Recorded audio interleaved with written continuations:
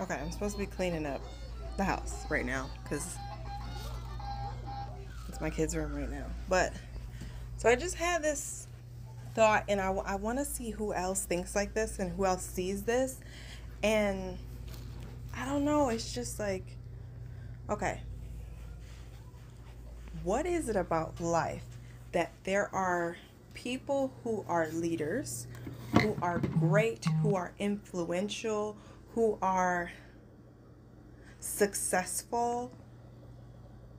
Why is it that those people all have, like, I feel like almost all of them, not, not all, but uh, almost all of them have like this tragic background before they were successful before they were great before they were well known there's always this one or or incidents of you know sometimes there is um you know abuse or poverty or um you know relationship issues maybe a divorce or or just why is it always in life that we have to take this L right?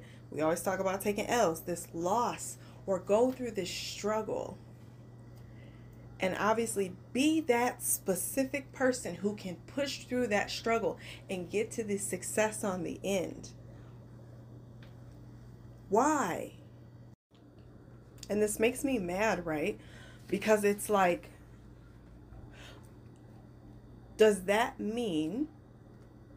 Because it, it's not. It's a. It's a type of success and I know it's not everybody, and I don't mean every successful person. You know, there are some people who know somebody that knows somebody, but I'm saying those people who've grown themselves up from the ground up, and I'll think of some names and name drop um, some. But what is it about those people that they have something within them to fight through to get to the other side? But does that mean that everybody who wants to see a level of success that's similar to theirs, do we have to go through that struggle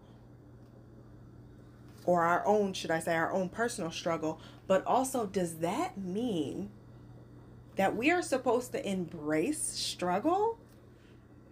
Like, like truly be like, oh, okay, like play like this. If this is the matrix, play like I'm leveling myself up.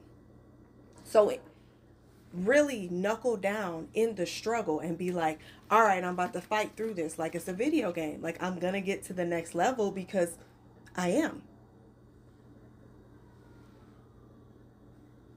What do you think? So, is one of the gems or the keys or the top three things that we should be doing is running towards struggle so we can get through it to get to the other side?